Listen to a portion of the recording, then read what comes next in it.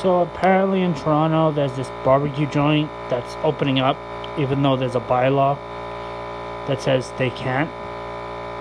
Okay, barbecue place. So you're treat you're hundreds of people come into your place.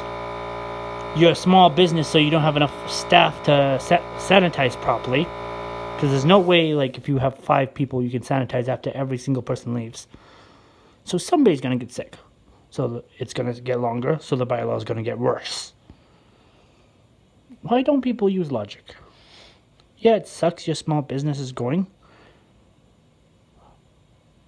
But the person that loses their brother, sister, mother, daughter because of this thing, I'm thinking they're having a worse time than you are because you have to think of some other way to make money. Here's a crazy idea close your business, close the doors, and have a delivery only. Problem solved.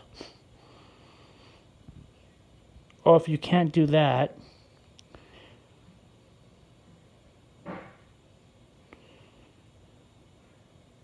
get a job. And if you can't do that, go for assistance. There is ways to make money. There isn't a way to get to come back from this if you get it. If you get this, 80% sure you're going to die. If your business doesn't open within a couple months and you're a barbecue place, you can reopen. Even if you have to close your bricks and mortar place, this goes away. All you need to do is get a, get a new place.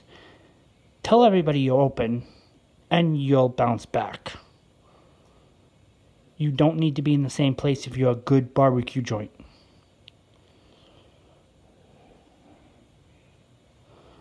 That being said, since dude's technically breaking the law here, what's the problem with just them just going in and arresting for it?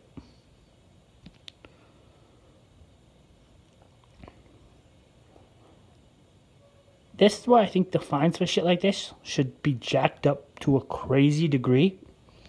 Because think of the logic.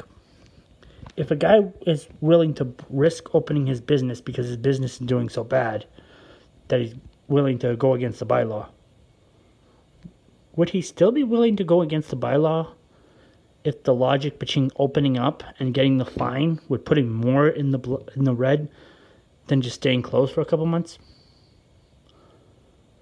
Like, there's a chance you close down if you stay closed, but if you open up and get a fine, you'll shut down because you won't be able to afford it. Make the make the fine two G's. Nobody will break it.